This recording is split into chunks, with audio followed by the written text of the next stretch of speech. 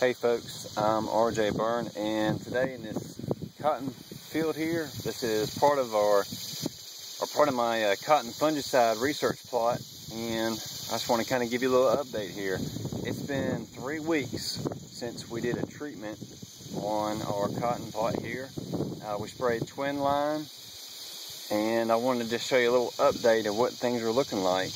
Um, I'm actually in an untreated plot here right now and I'm gonna pan the camera down uh, to the canopy here and you ought to just check out the defoliation that's going on and you can see what Corynespora or target leaf spot can do your cotton crop concerning defoliation.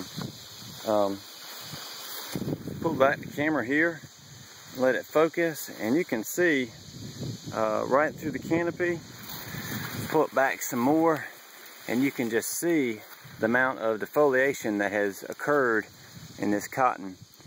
Uh, quite a bit of leaf litter already on the ground.